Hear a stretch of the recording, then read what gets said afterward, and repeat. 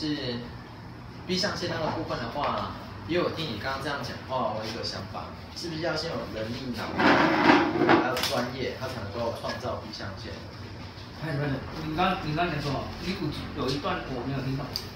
我就是说，是不是要有能力、能力、能力、人力、人的力量，不是能力，是你本身的能力能力，哦，能力。然后还有脑袋，然后还有专业技术，它才能够创造 B 象限。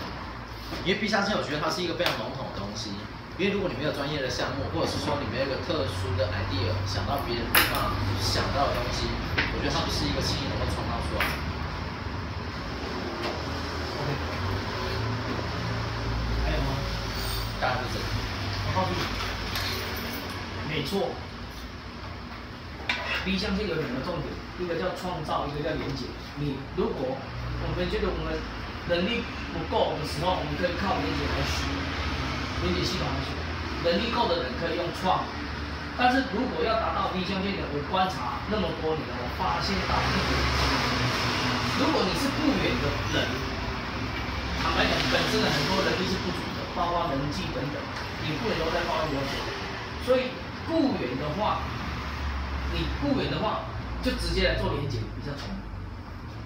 但是他眼光去找到对的系统，他不，有的东西只落回了更点，尤其是很多传直销，哦，不是传销不好，有很多传销是有问题的。好，那我发现到比较可以容易达到企业家思维的，是他要有这一块的经验值，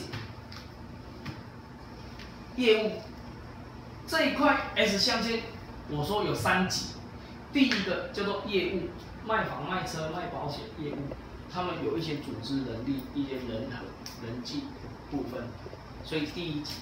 但是这种人直接来创系统也很难，因为他没有老板的态度，你懂？很很哪个业务老板态度？啊，为了去创业，一个月亏掉吗？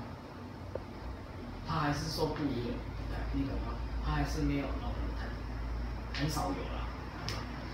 那第二级叫做老板，亲力亲为老板，也就是说，像那种水电啊、比较面包车那种水电工，一个人自己去做跑单班的那种，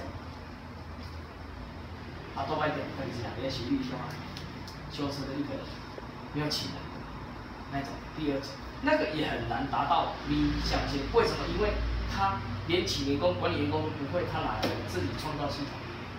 这个也很难。他还有第三级的，就是有请员工的，甚至有开分店，这种这种老板比较容易跳到 V 象限。所以你去看到，你去看，一般能够跳到 V 象限创系统的人，都要是有第三级在 S 象限的人的本本事。所以你有问到一个重点，就是真的是这样子的。所以它最基本的话，除了你说在 S 象限工作以外，我觉得听起来的话，他还必须要一个最关键的要素，就是它必须要会管理。他如果不会管理的话，这一切都是免谈。合作，只能靠合作。除非你的合伙人会管理。对，合作。我到现在我还觉得合作是重点，因为我有我的能力，像我很会布局啊，我的愿景或方向，你给我关紧或补啥那个，这是太细细微的事情，我没有我们总务的人来处理，因为太细腻细腻我就没办法。我是大架构的人，我很清楚，你要很清楚是什么。那行销面有行销面的人才，因为他可以看到怎么样去做行销，我是看不到的一个部分，他会去做，所以一定要做合作。有哪一个企业家不是靠合作起来的？团队。对，所以你必须要懂人和。所以如果你有企业家的思维跟态度，你这边起来的话，你可以控制这些三大象限的人为你所用。啊，如果你觉得我的还是没办法，能力还不够，那我还是建议你先合作，跟企业家合作。那企业家的人，你要发现到，你要知道企业家的人会谈什么样的语言。